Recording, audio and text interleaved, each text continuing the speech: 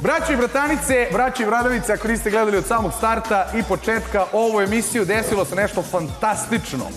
Te ćemo vas sada obradovati jednom muzičkom numerom, jednim predahom. Obratite pažnju, radi se o nekim ljudima koje možda imate u nekoj neposrednoj Da, blizini. možda ćete nešto spojiti. Tako. Znaš, ono, kao posjetiti će vas na nešto. Ajde. Slušajte tekst Tako, i uživajte.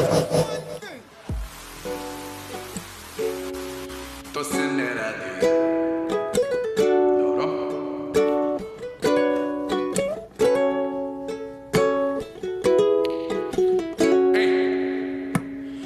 Svaki muškarac Balkanac Ne neki indijanac.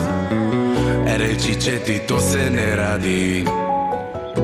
Pa nemoj niti lebati. To se ne radi, to se ne radi To se ne radi, to se ne radi. To se ne radi, to se ne radi. To se ne radi, to se ne radi. Nisam trebao sada znam Pare s računa da joj dam. Bože gdje da živim sad? Ona je luda, a ja nisam mlad. To se ne radi, to se ne radi se ne radi, to se ne radi. To se ne radi, to se ne radi. To se ne radi, to se ne radi. Pravi me ljubomornim na osam sati. Ona me pljuje, ona me mlati.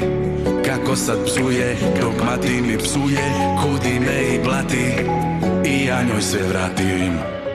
To se ne radi, to se ne radi se ne radi To se ne radi, to se ne radi To se ne radi, to se ne radi.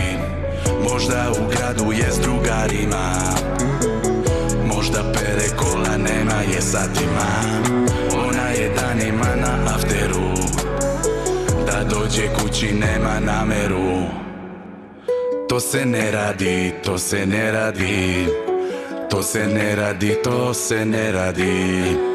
To se ne radi, to se ne radi. To se ne radi, to se ne radi. O Bože šta me snađe? Doći će mi glave ove mlađe. Na nju trošim komaraš i Ona viče, samo nek se plaća. To se ne radi, to se ne radi se ne radi, to se ne radi To se ne radi, to se ne radi To se ne radi, to se ne radi To se ne radi, to se ne radi To se ne radi, to se ne radi To se ne radi, to se ne radi To se ne radi, to se ne radi to se ne radi, to se ne radi To se ne radi,